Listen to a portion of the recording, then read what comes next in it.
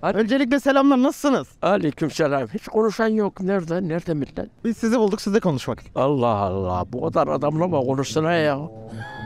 Ne konuşalım ya? Bu layık dedikleri anayasaların elden gitme e, tehlikesini, e, onun feryadını layık elden gidiyor. Başka bir şey yok. Baba herkes aklını başına alsın. Bu millete benim aklım almıyor. Ya bir domates al okan ezik domates o kavga diye de başına seçecek adamı domates kadar düşünüp seçmiyor ya. Çürük adamı seçme. Allah düşmanını seçme. Din tehlike diyen alçağı seçme. Başörtüsüne yasak diyen alçağı seçme. Askeriye de Allah diyene ceza veren rütbeli gavullara rütbe verme. Ben üç gün ceza aldım askerde. ha. Hacı dinle. Niye Allah dedin? Türkiye düşmanlarıyla kucak kucağa gelip memleketi yine eski darbelerle millete zulmederek bir şarapçı bir alçak kendini beğenmiş kibirli bir domuz geziyorlar.